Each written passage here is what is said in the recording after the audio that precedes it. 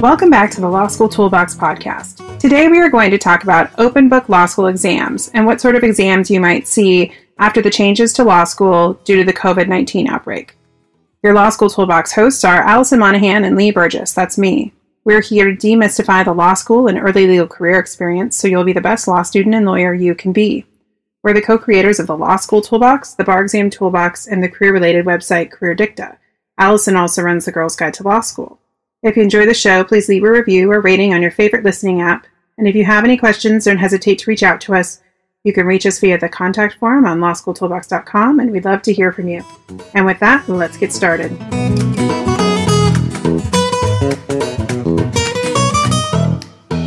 Welcome back to the Law School Toolbox podcast. Today we're talking about how to make a smooth transition to open book and take home exams, since, well, most people are likely to have these this semester. And just for the record, we are recording this on Monday, March 30th, so we don't know what happens in the future. All right, Lee. Well, I mean, at this point, I think we're assuming. It still cracks me up that we have to do that. I know, right? we've never done that before until this situation. We've um, never, yeah, we've never had to do that. We don't know if like every law school implodes in two days. It totally could happen. Um, alien abduction. I don't know. I feel like anything's fair game right now. So back to the point. Um, we're assuming really most law schools, if not all, are going to be doing some type of open book or take home exams, right? Yeah. I mean, I don't know what else they're going to do because, I mean, we just got word in the Bay Area that we're now in shelter in place until May 1st. I think most oh, law schools are going to start huh, doing exams the first week of May. Oh, you didn't? Well, see, you've been doing other things. I was out doing my, yeah, I was doing my checking good, your phone constantly. I was doing my good deed for the week, delivering groceries to homebound people for the food bank.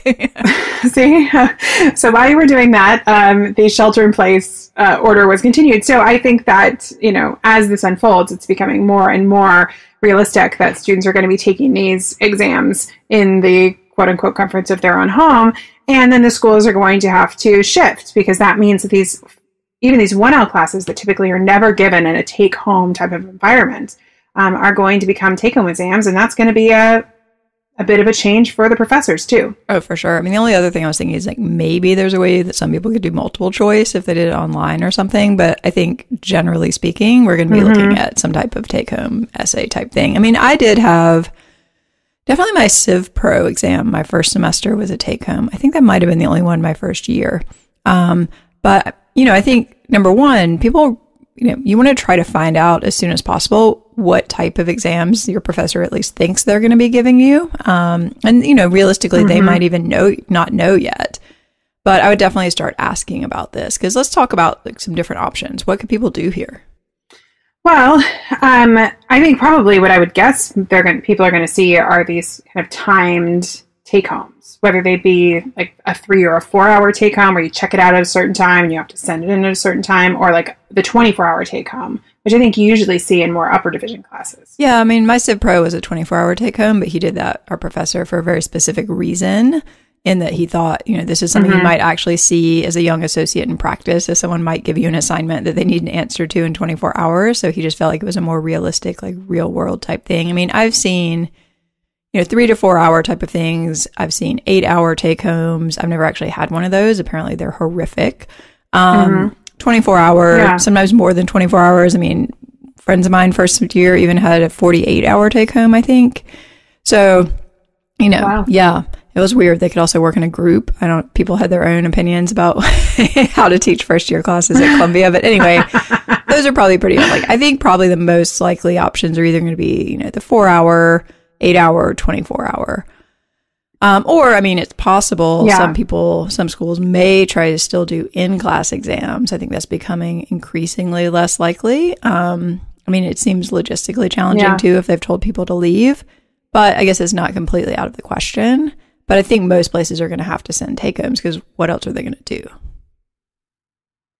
Yeah, and they've sent everybody home. I mean, I don't know how they could call everybody back right. to campus yeah, with travel and all of that stuff. It seems pretty much impossible. If law schools are listening to this, law school administrators, don't do that. Just make them take home. Please don't do that. Just do the take home exams. Don't make this like more dangerous and stressful than it needs to be um, already. I think that what will be interesting to see what the law schools also do is if they want to try and kind of mimic the more typical 1L exam where it's three or four hours um, is what the technical or the technology logistics are going to be of that. You know, how is you going to quote unquote get the exam? How are you going to turn it in and have it time stamped? You know, what are registrars right. going to do? Are they going to try and use, you know, some sort of testing software? I think there's a lot of logistics that are still kind of up in the air, and it'll be interesting to see how they end up deciding to do it.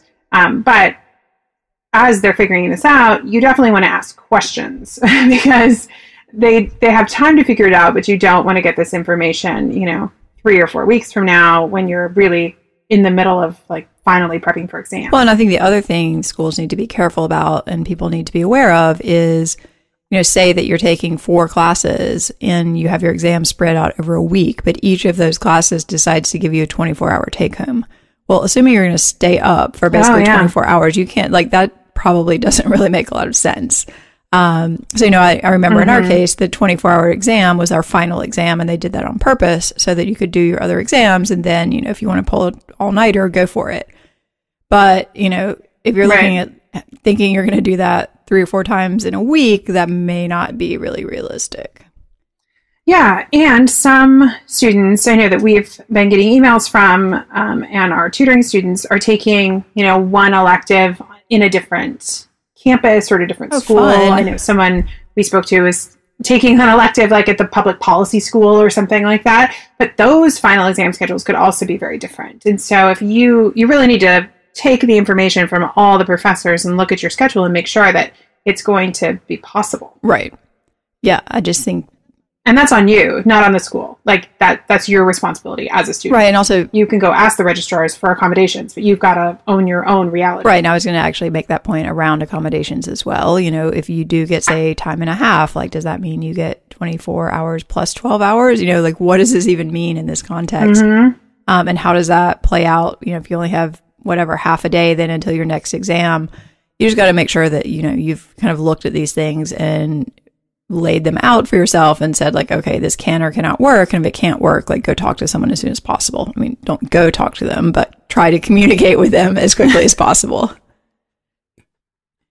And i think if you are someone who does get accommodations and you're thinking through your needs given where you are living or trying to study that's another thing you want to start thinking through now. And you know your office of disability services i would assume at the school is still up and running because everybody's doing distance learning and your registrar and your dean's office, like all of those, um, you should still be able to answer your questions, but everybody's getting inundated with so many emails that start now. If you've got questions, start now because nobody's responding in five minutes right Right. And I might even pick up the phone. I know it's kind of anathema to most people, but you could pick up the phone and call them. And if someone answers, they're probably more likely to be able to give you an answer than if you just send them an email and have to wait for days.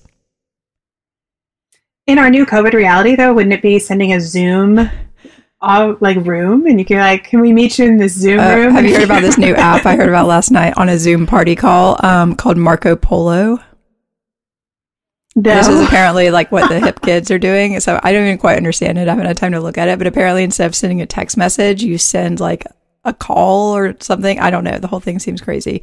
Anyway, if you want to be on the cutting edge, go look up Marco Polo. Um, Marco Polo. Yeah, apparently it's the cutting edge app of the of the COVID situation. Anyway, um, back to our actual podcast topic. Um, all right, so I think our advice is on the take homes, make sure you know to the extent possible how much time you have, you know, what's going to be allowed. If it is a longer type of exam, oftentimes there's a page limit, so you want to be aware of that. Sometimes those page limits can be very, very mm-hmm. strict. So you want to make sure you're incorporating that yeah. into your practice, which we'll talk about. Um, but you know, you really want to understand what is this exam likely to look like, and let's dive into that. I mean, if people have been used to having in class closed book exams where they have to rely really heavily on memorizing the law, maybe it's a racehorse thing, they're just trying to get it out as quickly as possible, maybe fairly limited analysis. I think these exams are going to be pretty different for a lot of people.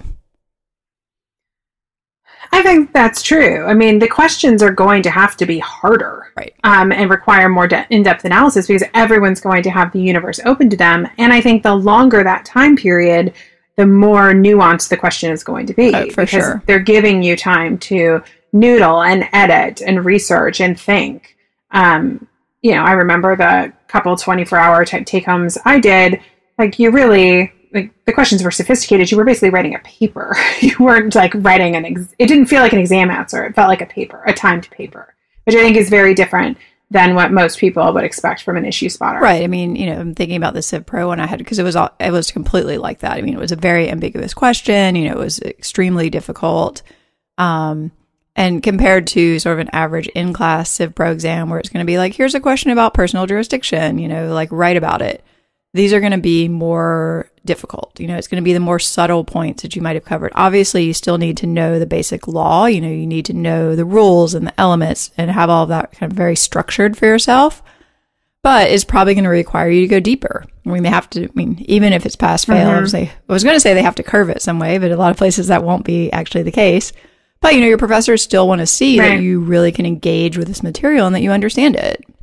And I think the professors are also going to assume that your writing is going to be so much cleaner. Right. You know, you're going to need to include, I think we're going to get into this in a bit, but you have to really realize that they're expecting a different presentation than the racehorse test. Right. Where typos are kind of acceptable and maybe, you know, a missing word or here or there, or like you're not including case names. You know, all of those kind of allowances that many law students are used to kind of go out the window when you have an open book, longer time um, to do these questions because professors are hoping they're going to be much easier to read. Yeah, and so you know if it's still three or four hours, whatever, it's probably going to be sit down, like do your brain dump, hopefully do an outline of some type. But if you have eight hours or even twenty four or more, they're definitely going to be expecting a different quality of just presentation, as you say. Hmm.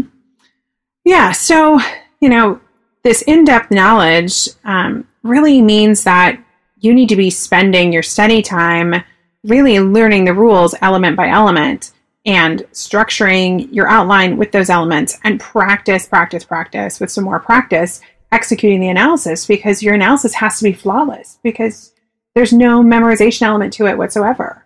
Yes, I mean the good news is it's all about can you do do the question. Yeah, I mean all that time you would have spent memorizing is basically time you can be spending doing other things now. So I think part of the issue here, too, though, is if your professors have only given a certain type of in class closed book exam and you have sample questions, those may or may not be that closely related to what they do in this new version. So, of course, you want to look at those True. and practice on them. But, you know, you may want to ask them, like, how might you change this? Or could you give us a sample question of what you think you might do this time? I mean, maybe they do nothing different, but I think they're probably going to do some stuff differently. Yeah, I think that that's true.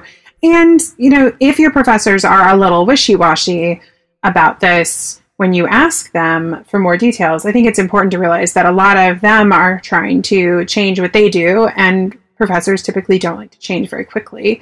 And so you may have to come back to them like week after week and be like, have you thought any more about the format? You know, try and be really kind because I think that they are being put in a situation that is not where they're used to excelling, which is being flexible and accommodating lots of new situations, but you also want to continue to nudge them to make sure that they're going to give you an like information on what's supposed to happen. Right. I think, you know, view this as a team effort. Like we want to do, you know, we want to give you what you're looking for on this exam, but in order to do that, we need to know what your expectations are so we can prepare adequately. Um exactly. So, one thing I think people sometimes really get caught you know, kind of off track on here is they think, "Oh, I don't have to memorize these rules. I can just look everything up." That is a terrible idea. Um, you know, even it terrible, terrible. I mean, I had all almost all open book exams, and I could still tell you about the law when I walked into that room. Um, you know, even if it's mm-hmm. an eight hour exam or really even a 24 hour exam, like you still need that knowledge in your head. I mean, it doesn't necessarily have to be word for word as it might be on a closed book exam, although you still want to be able to write this out quickly because people may hear eight hours and think like, oh my gosh, that's so much time. It is not a lot of time. Even 24 hours is not a lot of time. Um, you know, so you don't want to be kind of wondering what these rules are. And more importantly, you can't spot issues if you don't understand the law. You know, like you need a granular knowledge of the law mm-hmm. so that you can read this question and that triggers something in your brain. If you don't have that information in your brain, you're going to be kind of dead in the water here. Yeah. I mean, you can make outlines and you should probably make cheat sheets, like a one to two page cheat sheet, but it's not just making that material. I think that a lot of students can fall into the trap with an open book exam, which is like, okay, I will make these materials and then I can reference them and I'm good. And it's like, no, you can make these materials and you must practice with them and you must, you know, really understand them and learn them and be able to test yourself finding rules quickly and making sure that they really speak to you. You know, you can't just take somebody's outline that you think is very complete and put your name right. on it and decide that you're ready for an open book exam. And I, I know there are going to be people in law school who are going to think that that's a, the answer. And unfortunately, that is not going to serve most people well. No, I mean, I've done that one, you know, where it's like, oh, I'm good. I just have this 100 page outline that somebody else wrote in a class that I basically like, am, you know, totally floundering in. I'll be good. Yeah, not a great plan. Yeah. Um, you know, even if you do start with someone else's outline, you need to make sure that you understand that, that you've made it your own. You know, are you taking it and condensing it down so that you have a cheat sheet in front of you? Are you making flowcharts, you know, so that you can just ask yourself yes or no questions? Like there are ways to use other people's materials very effectively. And maybe you're in a situation time wise where that absolutely makes sense. And I totally respect that. But you have to make mm-hmm. it your mm-hmm. own. Yeah. Yeah. Just having outlines doesn't mean that you have a mastery of the material. like no. the outline is just the starting point. One time that ever and worked so, for me, um, I, all- I, had a 48 hour uh, exam on like EU law and I was not particularly like interested in this class. And a friend of mine at a different school sent me the most amazing outline I'd ever seen, and I was like, you know what? I'm a 3L, 48 hours, a perfect outline. I think I can do this. but that is an exception, not the rule. Right. And I got yeah. an A in that class. Yeah. Uh- yeah. But you know, I think I remember being kind of flummoxed. Oh, I remember being. I think I was a 3L, um, and I was taking employment law, and the I was the number two editor in the law review and the editor in chief in the law review, he had been like the high score of that class previously. And I asked him for his outline, and he's like, oh, sure. And he sent it to me. And I was feeling so good about myself because I had his outline in my back pocket until I opened it up the day I was going to like start using it. And I could barely follow it. I mean, it was just, he was a brilliant person. He's a great lawyer, but like, it was, they had no formatting. It was very like stream of consciousness. it just did not, it did not work for me and I kind of went, uh oh. Yeah. you know, I could go like control F to like look up keywords and see what he wrote about certain things, but it was not, it was not the way that I was going to be able to excel in that class. I could reference it, but I had to build my own materials. And I think that that does tend to be more the rule than the exception. You know, you got to make this stuff speak for yourself and you really need to practice using these materials. I know that we've talked about in other podcasts the importance of taking longer outlines and tabbing them or making an index and making it a lot easier for you to reference it while you're practicing because you want to get used to using those materials. Um, so when the exam isn't the first time you're looking through them. Yeah, I mean, I think this is a situation where you definitely want to start thinking really early about what you want to have in front of you when you're taking this exam. So, like you said, you know, you can start with a long outline, you can start with a commercial outline, doesn't really matter. You can make your own, do whatever. But you also, you know, you almost certainly want to have like that one to two page cheat sheet where it's like, what are, you know, say we're doing torts, like, here is my like overview of torts. Okay, you know, I've got intentional torts, I've got negligence, I maybe got some other things, you know, and it's just a very, it fits on a couple of pages and it's in front of you so that when you're reading that question, you're thinking, oh, should I be looking for intentional torts? Why, yes, perhaps I should. Should I be looking for negligence? Probably. You know, so that you don't really overlook something and write say it's a multi-part question and you think it's all about negligence, but actually half of it's about intentional torts. You know, you want to make sure that you really got something in front of you that's going to trigger you to think about these things that you need to consider. Yeah, and I remember taking like open book exams in law school that were in the room, but were that three to four hour structure. And oftentimes I never even really dug into my full length outline. Oh, no. I mean, pretty you, much took the exam just off the cheat sheet. Yeah, which is Maybe what I flipped you should do. That's the goal. right. um, right. And so, but I think that even if it's a longer take home, I think you want to have that level of comfort with the material of I really could probably do this mostly from the cheat sheets and I'm only referencing and diving down for more sophisticated issues where I need to do additional research. Yeah, I mean, when I would go into an open book exam, I would basically have my one to two page cheat sheet. I would have a longer outline that was not my own because I didn't make outlines really. I made flowcharts. Um, and I would have tap, like you said, tap that up, have an index, have a table of contents. You know, I'd practice using it. So if I did need to look something up, I knew how to find it. And then I would have the flowcharts that I'd made. And so basically, you know, my process was essentially if I was freaking out, like, look at the cheat sheet. Okay, what what zone are we in? All right, where's a flow chart on that? Great. Okay, pull out that flow chart, put it in front of me. You know, make a pre-writing outline where I've got the elements of the rule, I've got the facts that I want to talk about or the arguments. Um, because your professor is looking for a really logical structure. Um, they're not looking for just like, mm-hmm. I saw this issue and here's what I have to say about it. You know, they're looking for you to do this in a structured way because they know you have all the stuff in front of you. Right. And that is why once you get these materials made, you have to practice with them because you have to figure if your school is even pass fail, you want your answer to stand out in a good way. And it's going to do that with better analysis, with clean structure, um, and with clean writing. You know, you have like IRACing and headers and no typos, like all of that kind of stuff, a level of professionalism. Um, and you kind of have to practice all of that to be able to do that under these conditions, whatever the conditions are.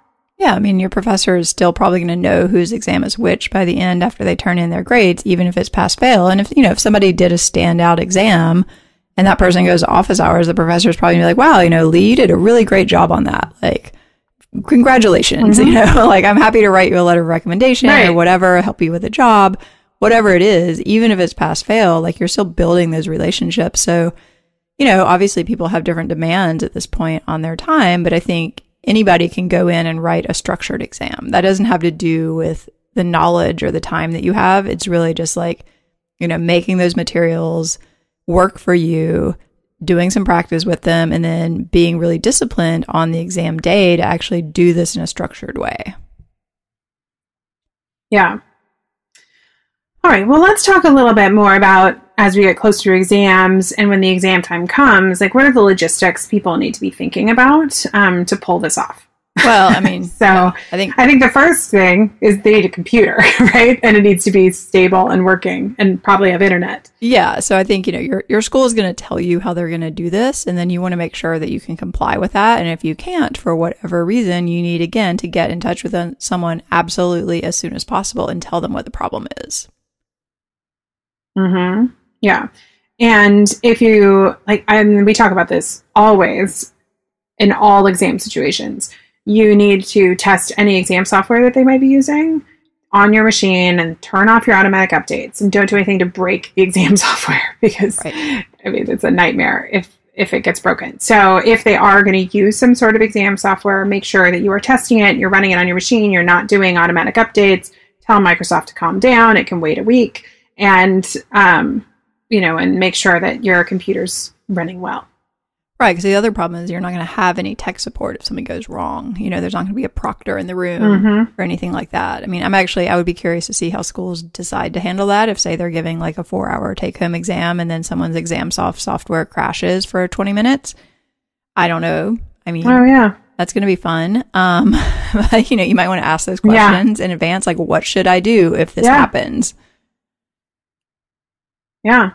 Because hopefully they've happen. got an FAQ, but if not, right. But if not, the best way to like encourage them to have one is to ask those questions. Yeah, I mean, I think you just want to think about. I mean, I know certainly I had situations in class exams where ExamSoft crash more than once. I think you did too. I mean, almost anyone oh, yeah. did.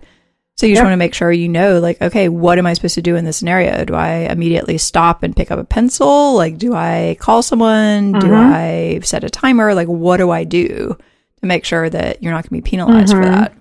And that's another interesting point, Allison, that some people do prefer still to handwrite out exams. And if that is something that you've always done or that you feel that you need to do, then you need to talk to the school about what the logistics of that are going to be. Right. Are they going to let you do that? Are they going to let you scan them and send them in? Um, you know, I think, again, like it, you really have to think through the information that's coming from your school and then talk early and often about what your individual needs are. Absolutely. I think these are definitely um, messages that you want to read as soon as you get them. you know, this is not the sort of thing that your yeah. school sends out something about how we're doing exams and you put it in your inbox and say, oh, I'll read it, you know, on the weekend when I have time to deal with this. You want to read them immediately and make sure that there's nothing in there that is like going to cause you problems. Yeah, exactly. I think one of the more challenging logistics for folks in the midst of COVID 19 is where are you going to take this exam? Right. um, because finding a place, if you have children or roommates at pets, home, dogs, whatever, um, pets, oh, yeah, um, significant other, you know, are you going to be able to focus and take this test at home under the time conditions? Um, is the school, if you live near the school, is the school going to allow you any um, private options, any quiet options? Are they going to open up any rooms? Um, I think we don't know, but if you're in an extreme situation or need something very specific for your accommodations, again, start talking to the school early so they, I mean, because it's possible everybody's flying by the seat of their pants. It's possible they haven't even thought of a lot of these individual situations. Oh, for sure. Um, and again, like it's possible they may be able to do something. If you're like, hey, you know, I cannot take this exam in my house because of X, Y, and Z. Is there any way that I can take it, you know, in a classroom by myself or in the library or whatever? Maybe there's an option that that mm-hmm. can happen. Yeah, maybe you'll never know unless right. you ask. So you might as well, you know, talk start by talking to them. Yeah, I mean the other question I think people may have to entertain at some point is like if your situation is so extreme that it's literally impossible, like is there a way that you can postpone these and do them later? It's true. Yeah. You know, if it gets to that point, it's like, no, we cannot provide you another space. And you're like, it is literally impossible. Then it's like, all right, we need to talk about what the options are. Yeah. Because if you are providing 24 hour childcare and I don't know how you would do a 24 hour take home. I mean, that's yeah, pretty, that would be a lot. Yeah. I mean, maybe you yeah. go to a hotel. I don't know. You know, like I think people like just are going to have to maybe. think of a lot of different options. Maybe your kid goes and stays with someone else. You know, it's like, we don't know. Maybe they're options, maybe they're not, but definitely yep. talk to someone. Um, you know, I think you've got to think about picking it up and returning it. Like, is this going to be done virtually? I mean, this is more kind of the school's problem. But what if they do say, like, I mean, we used to have to go pick them up. I mean, hopefully that wouldn't be happening. Mm-hmm. But again, like people may have just not really thought about it. Like, oh, you'll just pop by the school and get them. It's like, well, not if I just moved like, halfway across the country. Right. Yep. Um, also, if it's a longer take home, you also need to think about all your physical needs. Like, do you have enough food in the house? Water? Are you going to sleep? When are you going to sleep? I mean, you want to think through that schedule um, of the entirety of the time. So if it's an eight hour take home, you do want to make sure you're eating throughout of it, but you don't want to be maybe cooking.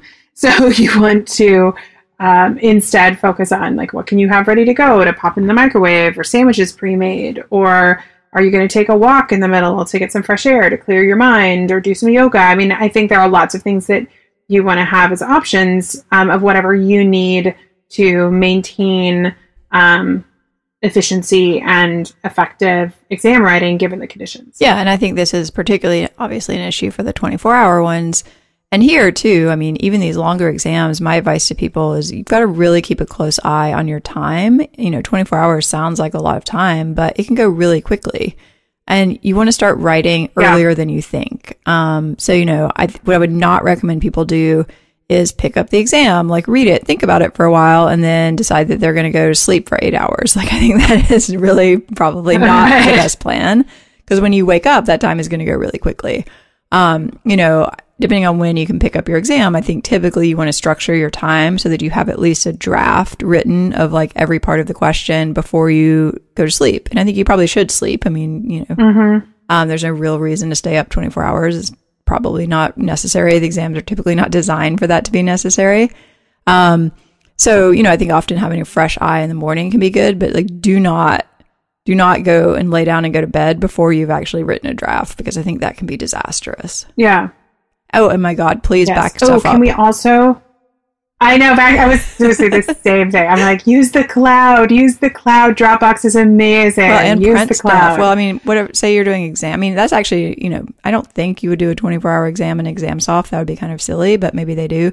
But assuming that there's yeah. a way for you to print this off or save it, you know, save drafts. Like save a draft that you mark as 4 p.m. and then save a different draft at 5 p.m. and 6 p.m. and mm-hmm. then print some of those because, you know, we have heard of really horrible things happening when people did not have backups.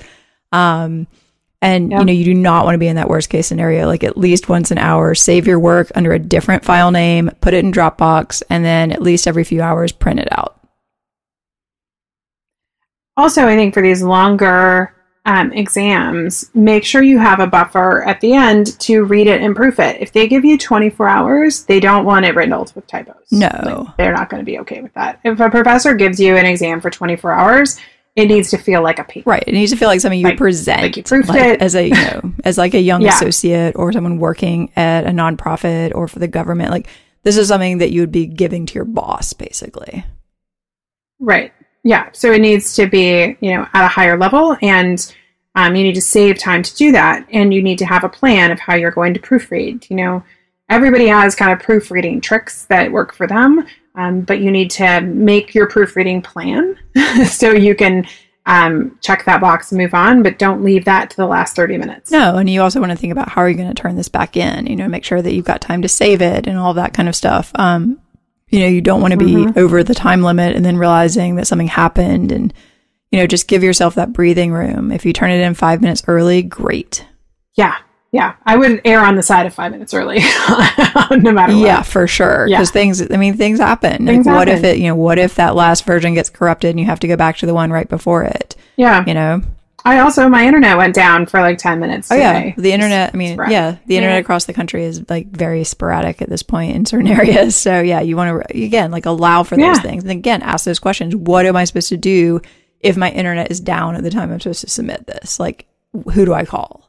Yeah. Right. So yeah, kind of nuts. Um. Yeah. Kind of nuts. So yeah, I mean, I think you know if people are listening to this and they're like, "Oh, I don't need to worry about this. My school's moved to pass fail. Like I'm sure I'll pass." You still want to be sure that you're doing your best and that you pass. You know. However, mm-hmm. you know, mm-hmm. at the same time, these are crazy times, and I feel like you really can't drive yourself too nuts trying to prepare for exams if you have other important stuff going on. So, you know, cut yourself a break, but try not to totally dial it in because you want to make sure you're doing enough and the good news is, you know, if you have a longer take home and it's open book, a really good set of attack plans can actually get you a long way. So if you focus on that in the limited time you have available and then really focus on the exam on presenting this in a way that is professional, you're probably going to be fine. Mhm. Yeah. I mean, I agree. I think kind of my thought final thoughts are on this, you know, everybody's health and safety and what their family or network needs is like everybody's priority right now. Law school is definitely still a priority, and you want to be able to check the box on these exams because you know you don't want to fail because that's going to be harder to explain in your transcript. Nobody's going to talk to you about these passes. it's like we just want to you know make this work. But if you do have extreme stuff going on, just reach out to your school. I think people are being very compassionate that a lot of different people have various levels of stressors going on. I was um, flipping through Instagram the other day, and a blogger I follow was lamenting that she'd spent three hours yesterday redoing her nails, and I wanted to scream because I was like, "What?" You know, I was like, "I can't believe you spent three hours doing your nails." right? Exactly. You know, um, but I I do think that you know, everybody's in a different situation, and the schools are going to be compassionate, but you need to talk to them about it. Um, and you know, remember that these are extreme times, and you know, you're going to have to ask for what you need, I think, because a lot of times people aren't even sure what they're supposed to be offering people to yeah. help them be successful. I think that's right. And you know, if you have questions about these exams, ask your professors. You know, that's what they're there for. Yeah. If you don't understand like what their expectations are or you're just not sure about something, just ask them. Yeah. Yeah. We're all in this together. We're all navigating this new frontier together. So we all got to talk about it and not make assumptions um, because we don't even know what everybody's thinking about. Yeah, and people, it's yeah. just it's also new. Yeah, so you know, hopefully everybody gets it together. You're going to be fine. And then if you think for some reason that may not be happening or you have questions, just reach out to people early, and hopefully it all works out. Yeah. All right. Well, with that, we are out of time. If you enjoyed this episode of the Law School Toolbox podcast, please take a second to leave a review and rating on your favorite listening app. We'd really appreciate it. And be sure to subscribe so you don't miss anything. If you have any questions or comments, please don't hesitate to reach out to myself or Allison at lee at lawschooltoolbox.com or allison at lawschooltoolbox.com, or you can always contact us via our website contact form at lawschooltoolbox.com. And we are doing podcasts based on what people are sending our way. So feel free to send us our questions because that is giving us um, ideas for the content you guys are looking for. And we're happy to answer your questions on the podcast. Thanks for listening. Everybody, please stay safe, stay home, and we'll talk to you soon.